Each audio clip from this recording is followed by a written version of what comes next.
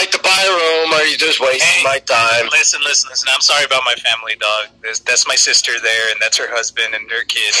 Uh, we'll take a clean room. How about a clean room? You got a clean room? Yeah, let me check if I have a clean room. Oh, look at that, I don't. Would you like the roach room or the murder room? What happened in the murder room exactly? Uh, a couple days ago, some bitch ate some kid's crayons and threw off the balcony and cut her legs off. Would you like the murder room or the roach room? Listen, fool. If you can't get us a clean room, we're not staying here. You're not gonna find any better rooms than the Clown Motel, pal. The kind of motel is this? What do you mean, what kind of fucking hotel is this, pal? Look around you, it's the best on the block. It's a clown motel. It's full of clowns. do you want a fucking room or not? Come on.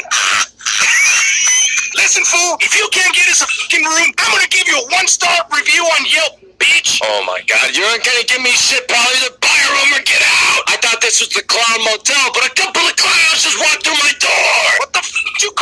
I'm going full Mexican on your bitch ass. Más te vale que nos des un pinche cuarto, si no ahorita te, ahorita te tumbo los pinches ojos, güey. Don't tell me what he's saying. What the fuck is he saying, dude? I was